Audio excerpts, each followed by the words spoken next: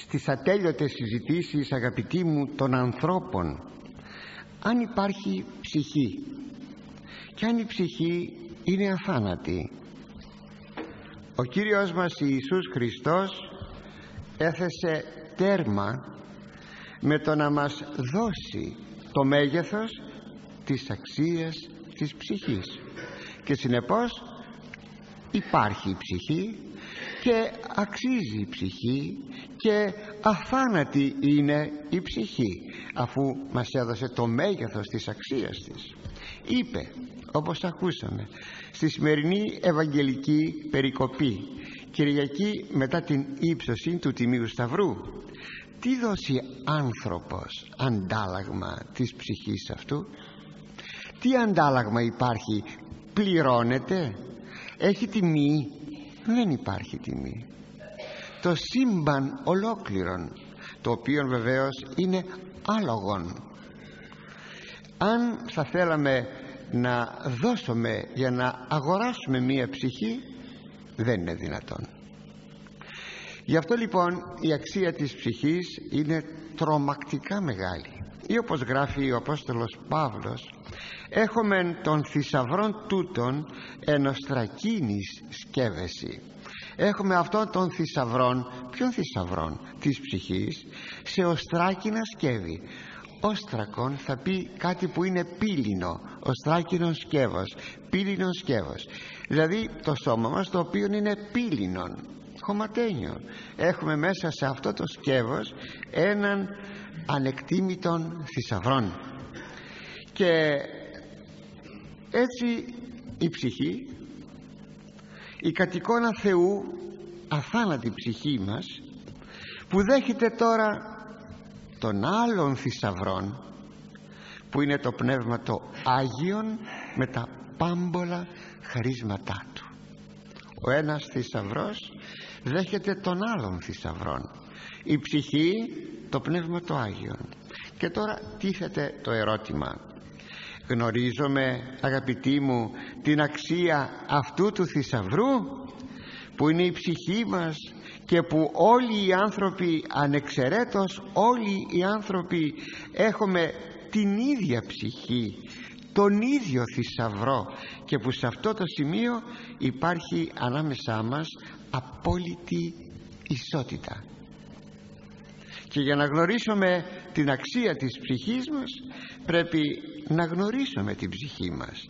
Τι είναι; Που είναι αληθινά ένας ανεξερεύνητος κόσμος και ένας μυστικός παράδεισος του Θεού.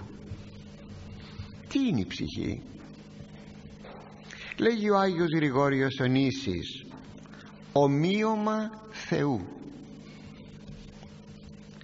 είναι ακόμα εικόνα του αοράτου Θεού και όπως λέγει ε, ο Άγιος Ειρηναίος πάνω στο σημείο ότι προσέξτε αυτό που θα σας πω ότι ο όλος άνθρωπος είναι η εικόνα του Θεού.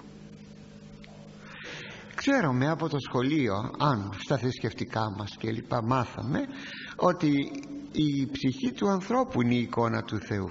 Προσέξτε ο όλος άνθρωπος είναι η εικόνα του Θεού συνεπώς και η ψυχή και το σώμα και όταν λέμε ψυχή να σώσω την ψυχή μου που το λέμε τόσο κοινά εννοούμε ότι συμπεριλαμβάνεται και το σώμα.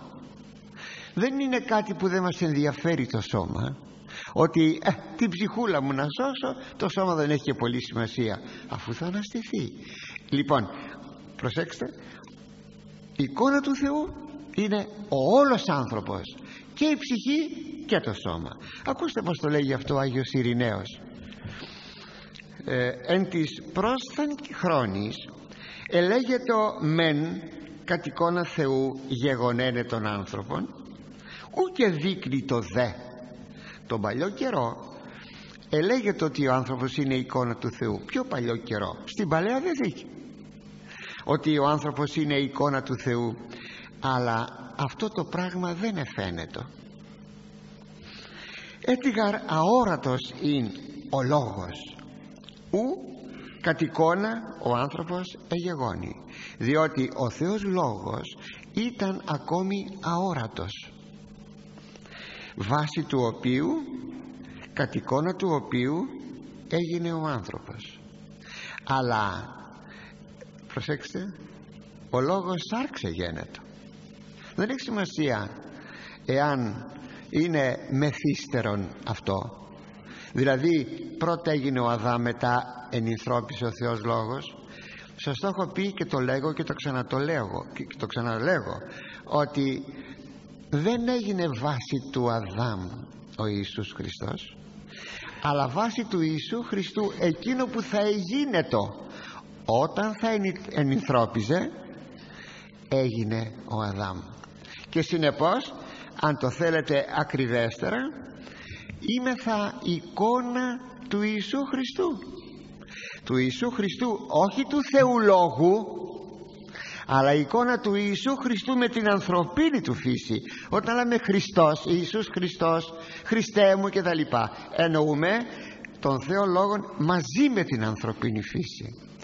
Βάσει λοιπόν αυτού του Χριστού έγινε ο άνθρωπος έστω και αν προηγείται ο Αδάμ. Δεν έχει σημασία αυτό. Και ακόμη γιατί το πρότυπον εφυλάσσετο αυτό που θα γίνεται ο Ιησούς Χριστός. Και ο Ιησούς Χριστός ο Θεός Λόγος έγινε αυτό που ήθελε. Ποιο; Ως άνθρωπος. Δηλαδή βάσει αυτού του προτύπου έκανε τον Αδάμ. Και αυτό είναι το πληρέστερον που έχουμε να, να πούμε ότι ο άνθρωπος είναι η εικόνα του Ιησού Χριστού. Αλλά ο Ιησούς Χριστός σαν άνθρωπος τώρα είναι η εικόνα του αοράτου Θεού. Και συνεπώς ο άνθρωπος είναι εικόνα εικόνος. Κατεξοχήν όμως η ψυχή του ανθρώπου είναι ομοίωμα Θεού. Κατεξοχήν κατεξοχήν σε είπα ολόκληρος ο άνθρωπος. Ο άνθρωπος είναι ένας καταχάριν Θεός γιατί σημειώνει ο ψαλμοδός. Στον 113ο ψαλμό του ο ουρανός του ουρανού το Κυρίο. Την δεγήν έδωκε τη σιή στον ανθρώπο ο Θεός κατοικεί στον ουρανό του ουρανού. Δηλαδή πιο πάνω από αυτόν των ορατών ουρανών. Δηλαδή στον πνευματικό ουρανών η δε γη δόθηκε ως κατοικητήριο των ανθρώπων. Εκεί ο Θεός εδώ εμείς. Μεγάλος ο Θεός μικρή θεοί εμείς.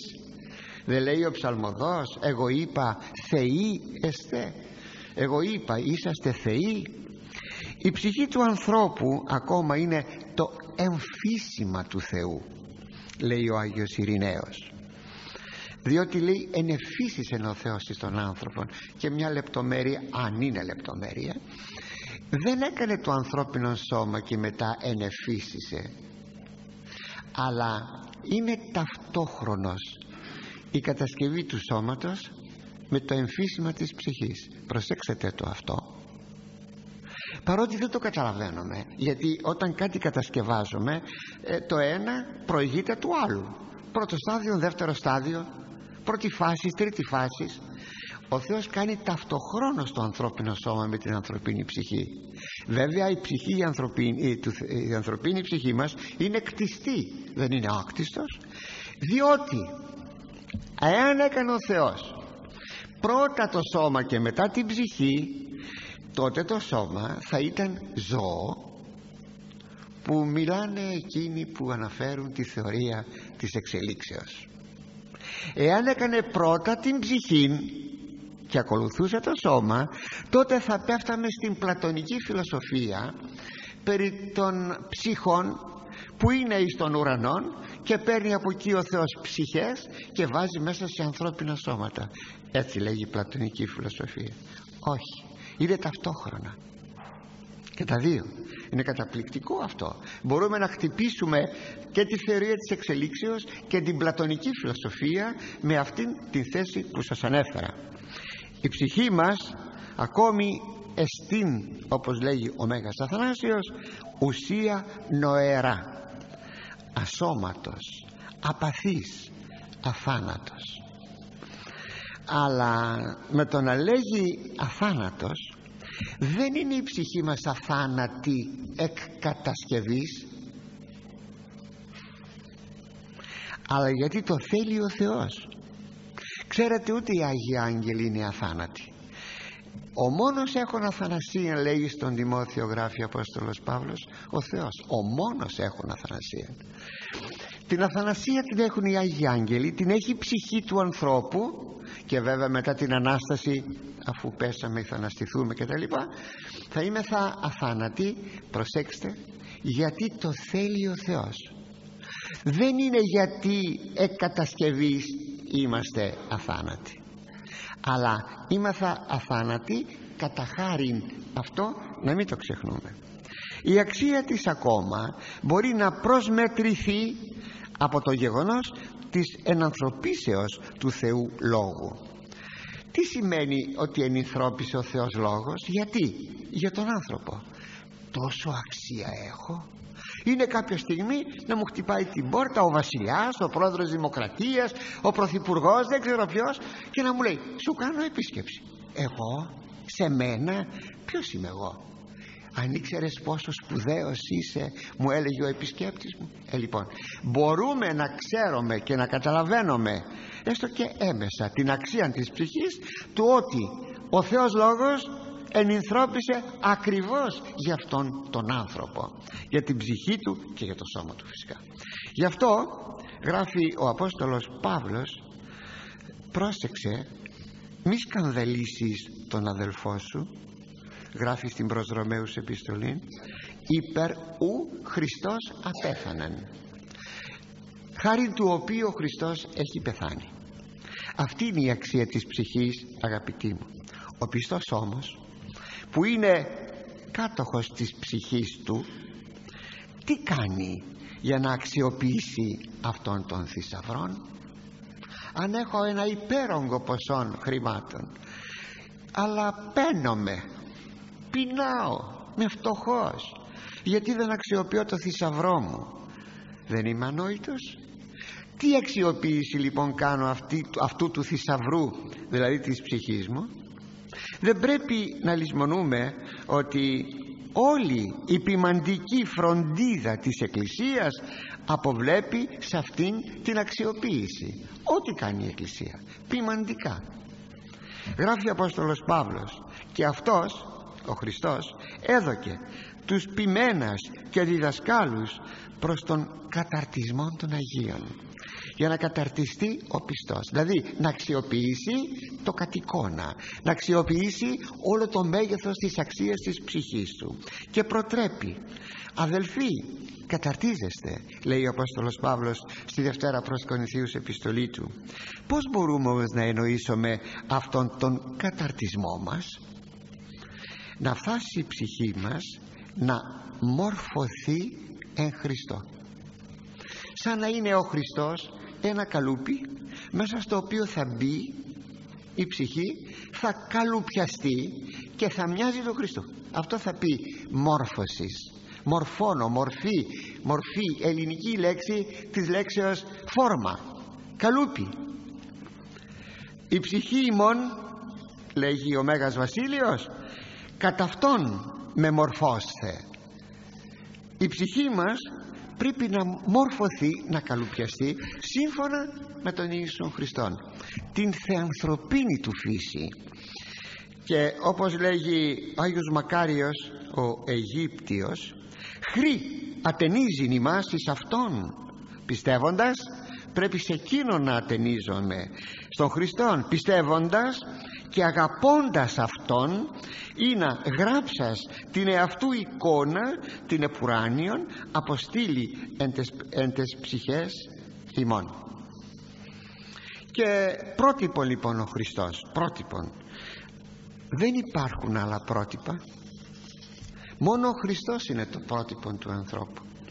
Ειδικότερα δε του χριστιανού που επίστευσε γράφει ωραιότατα ο Άγιος Μακάριος ο Αιγύπτιος η ψυχή από τις παραβάσεως ούσα αγρία και ανυπότακτος εν ερημία του κόσμου πελάζεται με τα θηρίων. Η ψυχή λέει του ανθρώπου ένεκα της παραβάσεως από την παράβασή της ούσα αγρία υπάρχουσα σε αγρία κατάσταση και δεν χρειάζεται να το αποδείξουμε ότι η ανθρώπινη ψυχή χρειάζεται αυτό που λέμε πολιτισμός αλλιώτικα ο άνθρωπος είναι άγριος. Το ότι μέχρι σήμερα υπάρχουν και άγριες φυλές επάνω στον πλανήτη μας δεν υπάρχει αντίρρησης. Και ανθρωποφάγη δεν υπάρχει αντίρρησης. Αλλά γενικότερα ο άνθρωπος η ψυχή του είναι αγρία.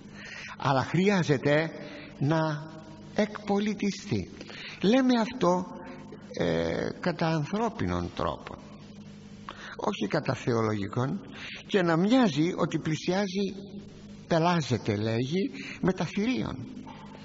Όταν δεν ακούσει λόγων Θεού και πιστεύσει η ψυχή ακούσει λόγων Θεού πόσο σπουδαίος λοιπόν είναι ο λόγος του Θεού και πιστεύσει χαλιναγωγουμένη υπό του πνεύματος αποτίθεται το άγριον ήθος τα αποθέτει αυτά όλα το άγρι, την αγριότητα το άγριον ήθος το αποθέτει. Είναι οχουμένη υπό του επιβάτου Χριστού. Η νίοχος είναι αυτός που ανεβαίνει επάνω στο άλογο και κρατεί τα ηνία τότε ο Χριστός είναι ο ηνίοχος και είναι οχή αυτήν την ψυχή διότι επιβάτη της η ψυχή έχει τον Χριστόν. Πρέπει η νίοχος της ψυχής να γίνει και να γίνεται πάντοτε ο Χριστός για να δαμάζονται τα πάθη τα άγρια πάθη. Πρώτον λοιπόν έργον είναι οι ακρόσεις του Λόγου του Θεού. Ξαναλέγω τόσο σπουδαίο στοιχείο είναι αυτό. Ο Λόγος του Θεού είναι τροφή της ψυχής. Ο γαρεστήν εν σώματι λέγει ο Άγιος Γρηγόριος Ονήσης εν σώματι τροφή τούτο εν ψυχή λόγος. Ότι η τροφή λέγεται το ανθρώπινο σώμα είναι ο λόγος του Θεού για την ψυχή. Και συμπληρώνει ο Ιερός Χρυσόστομος και λέγει την ψυχή μη περιοράν μη την περιφρονείς. Λοιμό φθυρωμένη να καταστρέφεται από πείνα και παρέχει αυτή την κατάλληλον τροφήν την εκ των γραφών αναγνώσεως να της δίνεις την κατάλληλη τροφή που είναι από, τις, ε, από την ανάγνωση των γραφών. Γι' αυτό πρέπει να υπάρχει διαρκής κατήχησης. Και τώρα που είναι Σεπτέμβριος μπαίνουμε στον Οκτώβριο αρχίζουν τα κατηχητικά σχολεία αρχίζουν οι αγιογραφικοί κύκλοι αρχίζει κατά κάποιο τρόπο να πυκνώνει το κήρυγμα του Λόγου του Θεού. Πρέπει αγαπητοί μου να το προσέξουμε αυτό πάντα να καλλιεργούμε την ψυχή μας. Όταν ο πιστός ακούει τον Λόγο του Θεού πρέπει να φροντίσει να καλλιεργήσει τα εξής τρία πράγματα. Πρώτον το νουν. Η καλλιέργεια του νου γίνεται με τη μελέτη, με την ακρόαση, με τη μνήμη γι' αυτό πρέπει να διατηρούμε ακ, ακμαία μνήμη. Υπάρχουν μνημοτεχνικοί κανόνες που μας, υπο, μας υπαγορεύουν πως να κρατάμε καλή ακμαία μνήμη. Να μην ξεχνούμε. Και εδώ που τα λέμε αν το θέλετε εκείνο που διατηρεί τη μνήμη είναι η επανάληψη. Γι' αυτό λέγεται θυμάμαι μια επιγραφή στο στρατό ότι η επανάληψη είναι η μήτυρ πασών των επιστημών. Μη πεις το ξέρω να το επαναλάβεις και να το επαναλαμβάνεις κατά καιρούς. να υπογραμμίζουμε στο βιβλίο ή στα βιβλία κάτι που είναι κεντρικό. Να βάζουμε μία σημείωση στο περιθώριο. Ναι ναι. Με τον τρόπο αυτόν, αυτόν ενισχύουμε αγαπητοί μου τη μνήμη. Και είναι και η θεωρία. Η θεωρία του Λόγου του Θεού. Αλλά τι να πω για αυτήν. Προ, προχωρώ. Ε, δηλαδή το να έχεις μπροστά σου και να μελετάς διαρκώς το Λόγο του Θεού. Νοερός. Αυτή είναι η θεωρία. Ε, είναι ακόμα η προσοχή. Είναι η παρατηρητικότης. Είναι ο συνδυασμός. Τούτο με εκείνο. Έτσι μπορώ πια να κάνω μια καλή δουλειά για να εδραιωθεί μέσα μου ε, οι γνώσεις και να καλλιεργηθεί ο νους. Είναι η εργασία του νου που διαρκώς ενισχύει τη θεωρία ε, του νου.